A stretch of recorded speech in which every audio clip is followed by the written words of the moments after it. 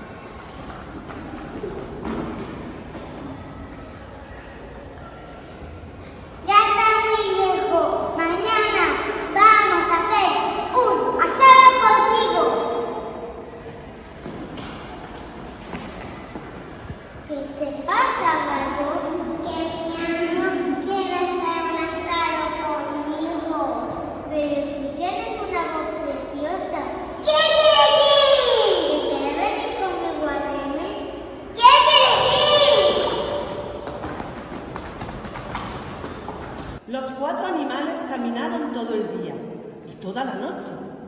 Ya estaban muy cansados, tenían hambre y sueño. Entonces... Mira, ahí hay una luz, seguro que hay una casa, vamos corriendo. Cuando se asomaron por la ventana, vieron a cuatro ladrones que comían, bebían y se repartían lo robado.